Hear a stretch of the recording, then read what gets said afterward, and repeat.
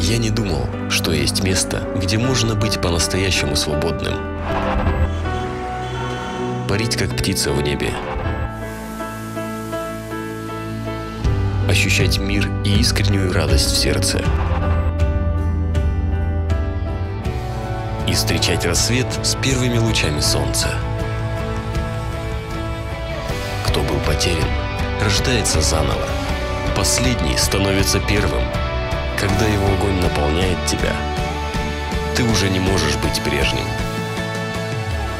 Достигай поколения, твори историю, утверждай его царство, зажигай огонь пробуждения. Будь тем, кем ты являешься от начала. Божья воля – принести свободу во все сферы нашей жизни.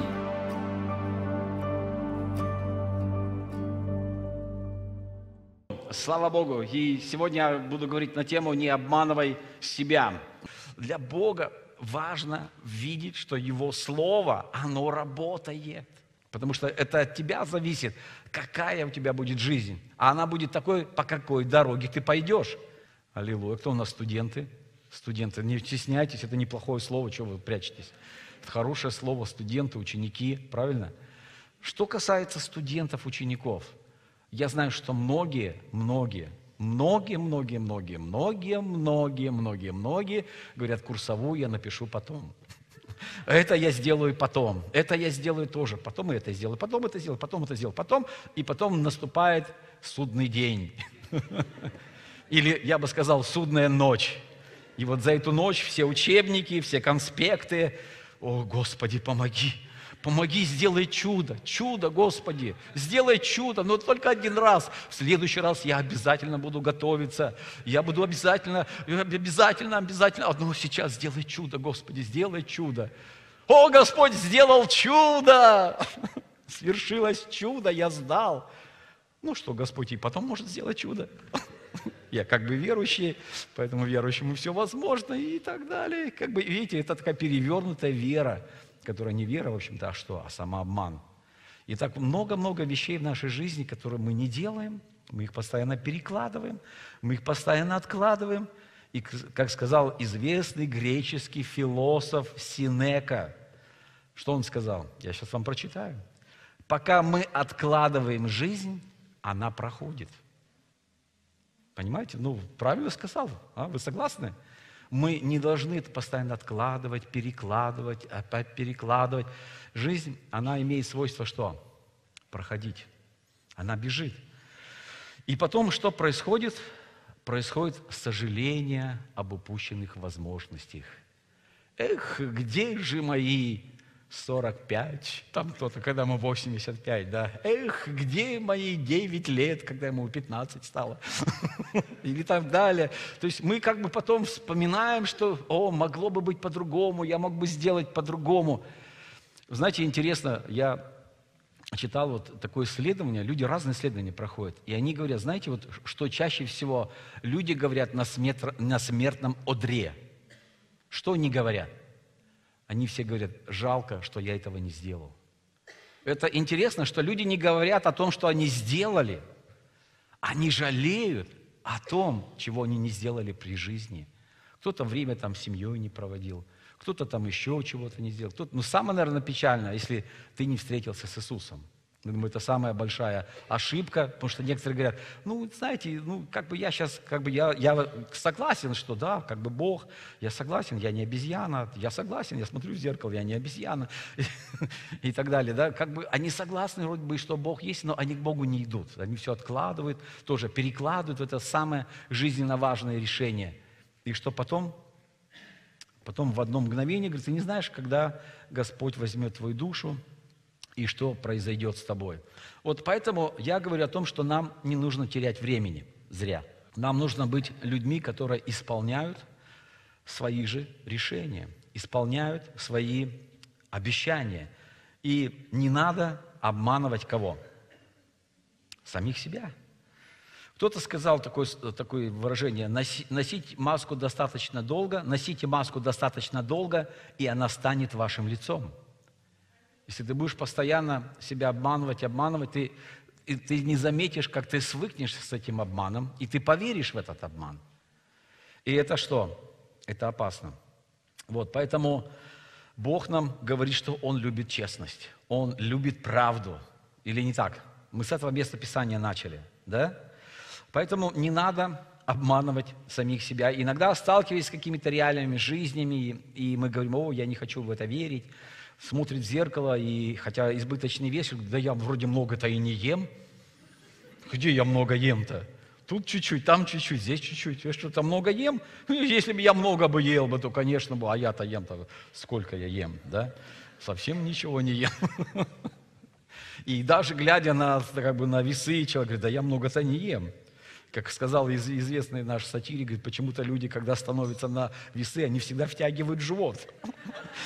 Как будто бы, говорит, вес уменьшится. Что это такое, друзья? Даже на весах мы самообманом занимаемся. А вес-то тот же. Поэтому втягивай, не втягивай, весы показывают ровно столько, сколько ты весишь. Ох, это реальность, ты говоришь, ох, это реальность, ох, это реальность. Как мне не нравится реальность. Но реальность, она для того и есть реальность, потому что это правда. Аминь. И если ты не согласен с этой реальностью, меняй ее, да? Меняй реальность, она станет другой. Меняйся сам, и все изменится то же самое. Поэтому как ты будешь делать, как ты будешь жить? Это зависит, какие решения ты принимаешь. Это зависит, о чем ты думаешь. Знаете, интересно, что а, наш мозг, он так устроен, что когда мы постоянно себя обманываем, обманываем, а вот само, самообманываем, как бы говорим, да ничего, я еще, я еще, я еще ничего, мне еще пока не надо там как бы то делать, это делать, еще как бы хожу почти, э, передвигаюсь, передвигаюсь почти, что. Вот наш мозг, он начинает верить в эту альтернативную реальность, то есть в обманчивую реальность, которую мы для себя придумываем. И многие люди, они живут в этом придуманном мире, да, в этот мир иллюзий, так сказать, они погружаются в эти иллюзии. И они там какие-то пустые мечты, которые не от Бога, они в этих грезах, там в сериалах, кто-то в компьютерных играх, кто-то еще где-то находит убежище, да, чтобы убежать от, от всех. О, мне только вот здесь хорошо, мне только вот там хорошо. Мне... А почему? Потому что не хочется меняться – не хочется решать проблемы, не хочется просто вот, вот потом я это сделаю. Сейчас вот поиграюсь, тут посижу, я маленький мальчик в 48 лет, сейчас там или еще там, там. Я там вот еще там маленькая девочка, присмотрю все сериалы, а потом я уже подумаю, как мне жить дальше, да. И вот, вот это вот человека делает каким? Каким его это делает? Слабым. Слабым. Потому что если ты не сражаешься, ты слабеешь. Если ты не решаешь проблемы, проблемы сами не решаются. Кто-то говорит, да, ну, само собой рассосется. Угу, рассосется, да. Ты видел, как у тебя рассосалось все?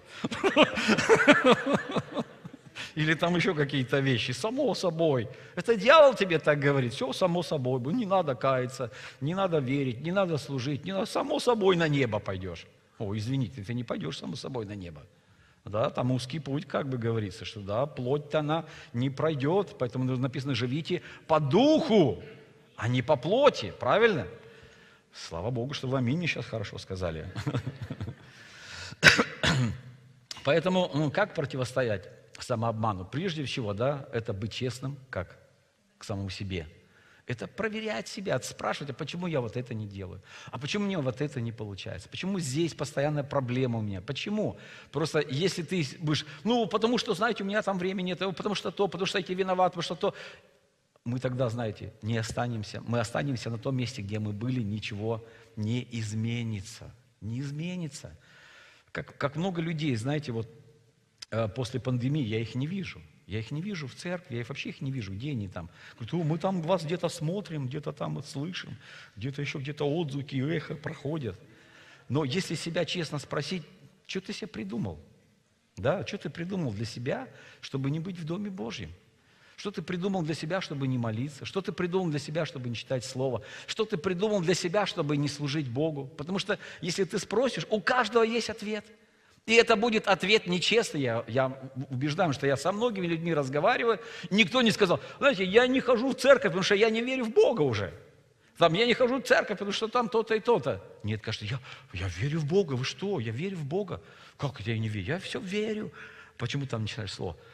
Как я не читаю слово? Ну, все-таки иногда я читаю, что там Библия мне написано, пыль протираю. Как я не читаю. И там еще какие-то... То есть вот именно человек, который не дает честный ответ, он нечестен перед собой. Он нечестен, и надо признаться себе, найти смелость и признаться, почему я нечестен перед собой. Почему проблемы у меня годами не меняются? Потому что ты не меняешься. Потому что ты нечестен к самому себе. И что тогда? Тогда все будет то же самое. Ничего не, к лучшему ни, ничего не произойдет, ничего не изменится. Поэтому в основном мы все знаем правду. Но мы не хотим смотреть правде в глаза. Смотри в глаза. Смотри в глаза, да. Говорит, а правда глаза колет. правда глаза колет. Она не колет глаза. Она дьяволу колет глаза. Правда? Она лжи колет глаза. Но если ты возлюбил правду, как Иисус, тебя будет радость, у тебя будет помазание. Бог даст тебе силы преодолеть все эти проблемы. Если что, ты признаешься в этих проблемах. Если ты скажешь честно, да, Господь, я честно вру, почему я не молюсь там. Я честно вру тебе, почему я не служу и так далее, и так далее. Вот вопрос честности, друзья, он очень актуален, всегда актуален. И будет актуален, пока мы на этой земле, потому что дьявол – отец лжи.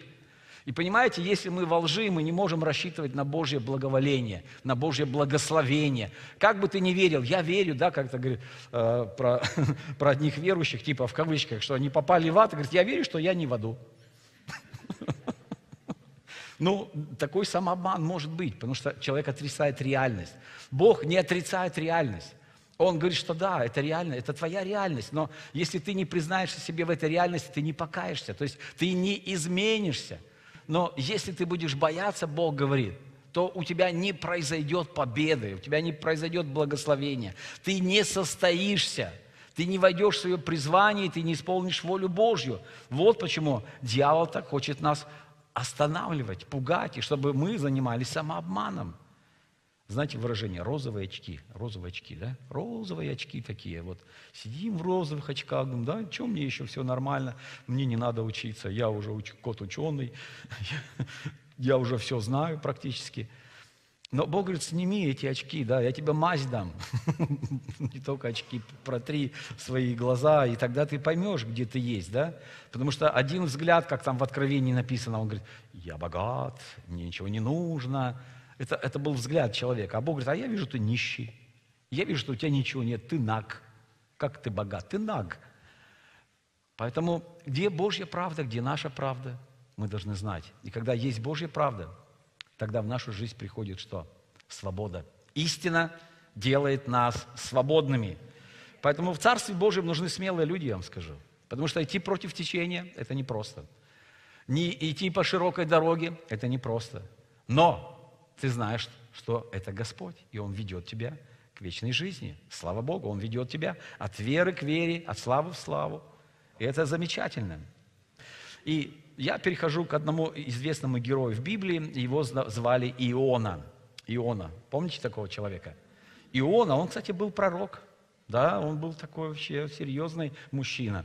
Но Но Бог сказал этому серьезному мужчине, и говорит, было слово Господне Кионе, «Встань, иди в Ниневию, город великий, проповедуй в нем, ибо злодеяния его дошли до меня». И что мы читаем дальше? «И встал Иона, чтобы бежать в Фарсис от лица Господня». Вот такой и был человек. Ему Господь одно говорит, а он другое. Кстати, если посмотреть по карте, то Бог ему говорил, иди на восток, а он куда побежал? Дан приказ ему на запад. Он бежит в другую сторону. А почему, почему он не согласился с Богом? Потому что у него были свои понимания – да, когда мы читаем, что говорят исследователи Библии, то и то, он был не согласен, чтобы Бог спасал Ниневию. Ему не нравились эти ниневитяне. Они такие были, такие сякие, такие, что я еще им должен что-то говорить, что я еще должен там туда ехать, да зачем я поеду, я не поеду. И, короче, у него было свое понимание жизни, свое понимание ситуации, свое понимание политики, всего-всего, межгосударственных отношений. У него были свои понимания. Но Бог говорит, ты я тебя посылаю туда. И что? Он делает все с точностью наоборот. Он покупает билет, он садится на корабль, и он убегает от Божьего решения. Да? Он, это что у него было? Прокрастинация. Он убегает от самого себя. Это бегство от Бога, бегство от воли Божьей, по сути дела, это бегство от самих себя. Поэтому, ну и сегодня есть такие люди. Как вы думаете, есть такие люди сегодня? Есть такие люди здесь? Здесь есть. Итак, итак, когда мы убегаем от Бога, да, мы как бы не соглашаемся с Богом и не соглашаемся, что Его воля благая, угодная и совершенная. Да? Она совсем мне не благая, она совсем не совершенная, она совсем мне неугодная, потому что мне она не нравится. Но что происходит дальше? Вы знаете, что было дальше? Что было дальше? Кто помнит историю? Но Господь, я вам подсказываю, но Господь воздвиг на море крепкий ветер, и сделалась на море великая буря, и корабль готов был разбиться – знаете, вот когда мы убегаем от самих себя, мы убегаем от Бога вообще по-настоящему, правда? Что происходит в нашей жизни? В нашей жизни что-то происходит нехорошее. Что сделал Господь, написано? Он воздвиг бурю. Буря от Господа, друзья, это не буря от дьявола. Давайте, есть, есть похожая история, когда Иисус с учениками плыл на лодке, и что? И сделалась, написано, великая буря. Помните? Тоже была великая буря. Но есть разные великие бури в нашей жизни. Потому что если это великая буря дьявола, у нас есть власть противостоять этой буре и запретить этой буре. Но если это буря от Бога, ты уже ничего не сделаешь. Как ты можешь запретить Богу? О, Господи, Господи, как ты мог такую бурю сделал? И давайте дальше будем читать. А он так, так, так, так, так, а он, а он, да. И устрашились корабельщики, и взывали каждый к своему Богу, и стали бросать в море, класть корабля, чтобы облегчить ее. Иона же спустился во внутренность корабля, лег и крепко заснул. Очень похоже на историю с Иисусом. Он тоже крепко спал во время бури, помните? Но Иисус спал, потому что он был уверен в воле Божьей. Он был уверен, что с ним ничего не случится. Потому что он исполняет волю Божью – что здесь происходит? Можно тоже заснуть, но для чего он заснул? И что такое был сон Ионы? Сон Ионы – это была его иллюзия. Да? Сон Ионы – это был его мир грез, пониманий жизни, всех обстоятельств, как надо жить, что надо делать, что вообще правильно, что неправильно. Это было его понимание, и он как бы оставался в этом понимании, несмотря на бурю. Несмотря на бурю. Это отличается же от сна Иисуса или нет? Знаете, это, это означает то, что когда мы не хотим э, сражаться с проблемами, когда мы не хотим противостоять этим ситуациям, мы просто, что, мы спим. Просто спим. И когда мы читаем дальше, про Иону написано, «И пришел к нему начальник корабля и сказал ему, что ты спишь? Встань, возови к Богу твоему. Может быть, Бог вспомнит о нас, и мы не погибнем». Слава Богу, что Бог дает нам Слово. Аминь. Вот это Слово, оно в последнее время звучит так часто, встань, что ты спишь.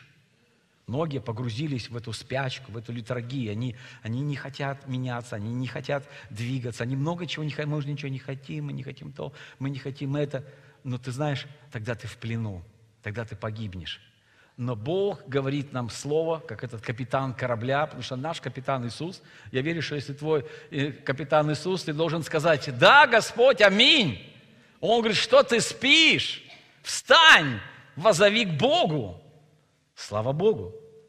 И вы знаете, знаете, что там на судне началось, да? Они, они стали там искать ответа, почему у нас проблема, почему это беда, что произошло. И когда Иона э, сказал, что он убегает от Бога, и они ему сказали, для чего ты это сделал? Ибо узнали эти люди, что он бежит от лица Господня, как он сам объявил, и сказали ему, что сделать нам с тобой, чтобы море утихло для нас. Ибо море не переставало волноваться. Это была буря.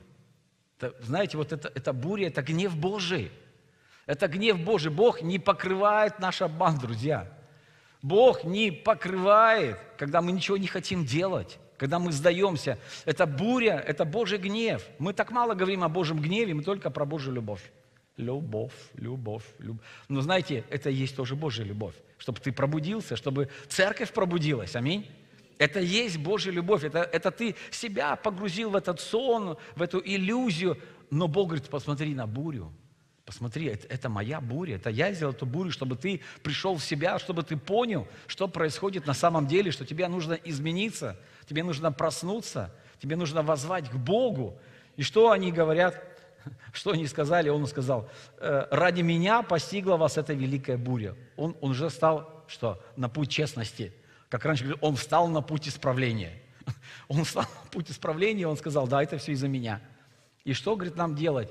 И он предложил вариант, говорит, чтобы меня это, что? Выкинули. Выкинули, выкинули с корабля. Что-то стало меняться в нем понемножку, да? Он стал приходить, что? Как блудный сын пришел в себя, да? Он стал приходить в себя, он понял, что он проблема. Он проблема для этого корабля. Мы можем быть проблемой для семьи, можем быть проблемой для церкви, может быть проблемой для много для чего. Но когда мы обманываемся, говорим, ну это не проблема, и то не проблема, и это не все, все это не проблема. Но проблема есть. Буря есть.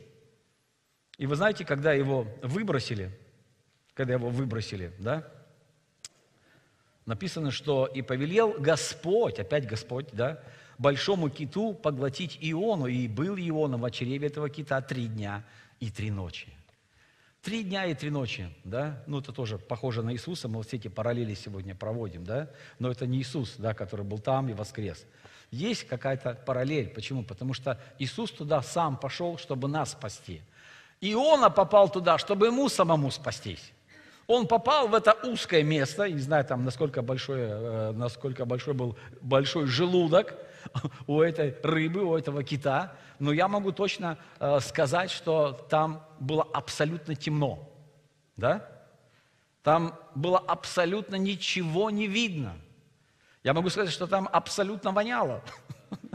Что какие-то непереваренные э, продукты питания этого кита, водоросли, что там еще там, остатки чего-то там, все это тухло, все это пахло. И он находился там. И это, это было потому, что, говорит, ты избрал широкий путь. Но куда ты попал, друг мой, да? Это произошло, потому что ты обманывал себя, ты убегал от меня. И куда ты попал? Куда ты вляпался? Посмотри, где ты сейчас? И что с тобой происходит? Это же не случайность. Ты не решал эти проблемы, ты не брал ответственность, ты не выступил против своих великанов, ты не победил их, и в итоге ты оказался в этом месте – в этом замкнутом пространстве. Кто-то понимает, что такое замкнутое пространство? Такое замкнутое, что его не разомкнуть. То есть ты никуда, ты сюда, там, там, там, там желудок, здесь желудок, там желудок, там темно, тут воняет, все. И что? Что делать? Господи, что делать? Что делать? Что делать? Молиться надо, что делать, правда?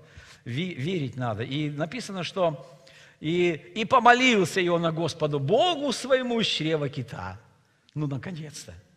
Наконец-то. Ну, надо ли нам довести до, до такого состояния свою жизнь, чтобы мы тоже где-то оказались так, что уже, ну, как говорится, дальше некуда. А куда дальше можно было? Куда дальше?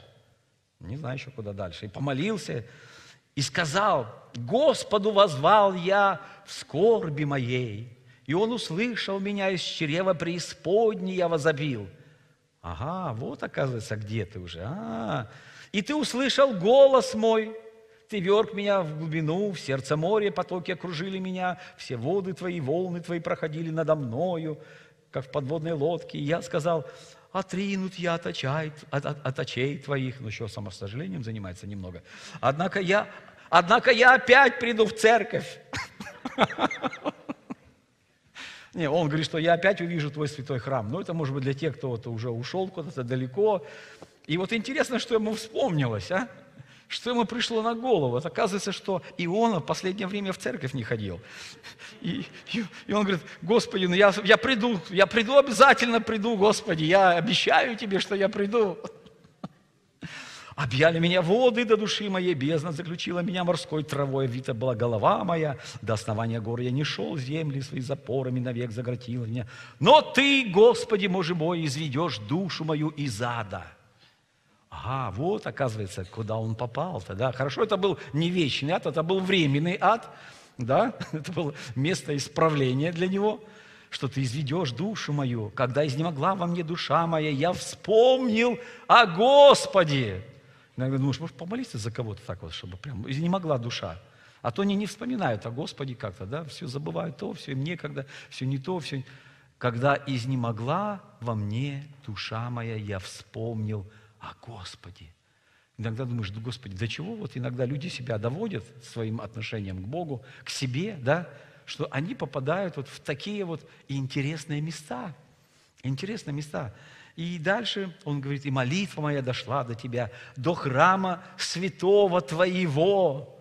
И он уже тогда, знаете, он немножко там дать, в, этот, в, этот, э, в, в это царство тьмы пробился лучик его света Божьего, да, лучик веры, лучик надежды. И он уже такой, смотрите, уже, как будто он уже вышел, уже такой говорит, чтущие суетных и ложных богов оставили милосердного своего, а я глазом хвалы принесу тебе жертву, Аллилуйя! Он уже там поет и кричит, весь в этих соплях, в водорослях.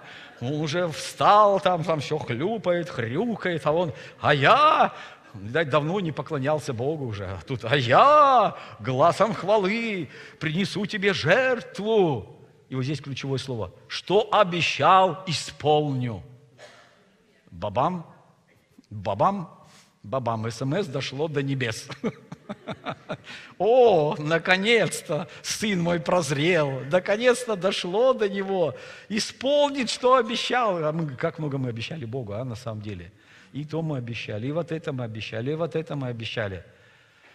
Ой, не доводите до греха Господа. Шучу, шучу. И что дальше? Что обещал, исполню у Господа спасения. Та-да-да-да у Господа спасение. Ну, наконец-то. И ангелы там все запели. Слава тебе, Господи! Вразумился сын твой Иона. Наконец-то прозрел он там, в этом чреве, стал видеть то, что не видел никогда при жизни своей, да? Вот где, оказывается, посещают откровения. И вот где, оказывается, истина торжествует. И сказал Господь киту, и он изверг Иону на сушу. Аллилуйя. Аллилуйя, друзья, быстрее признавайтесь перед Богом. Быстрее говорите Ему, быстрее делайте то, что сделал Иона. Победите свои страхи, победите свои проблемы, и придет долгожданная свобода.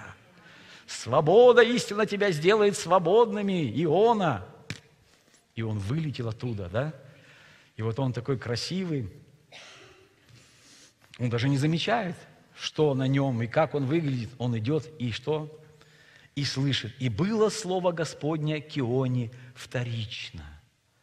Я вот обратил внимание, что написано вторично. Бог часто нам не говорит одно и то же по сто раз. Это как родители. Ты заправил постель? Ты заправил? Ты убрал? Ты убрал, ты помыл, ты помыл, ты помыл, ты заправил, ты убрал, ты убрал, ты за... Бог так не делает, друзья.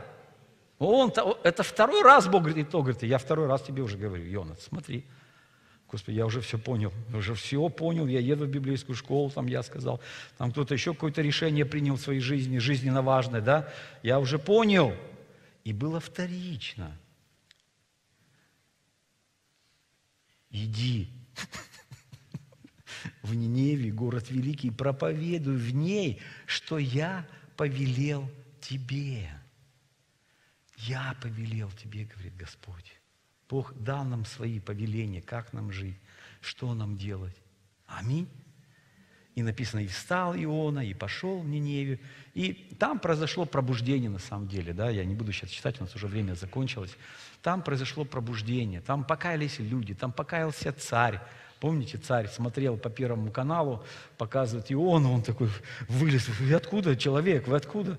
Я Иона там. И он рассказал свое свидетельство, он рассказал, как все это было. И царь увидел, там упал с своего трона. И говорит, Господи, помилуй меня тоже, да. И, и, и это слово дошло до царя, и он встал с престола и снял себя царские, не буду, облачения, оделся во вретище и сел на пепле. Вот, представляете? Вот наше Господь говорит, вот послушание каждого из нас, оно влияет не только на нас, друзья.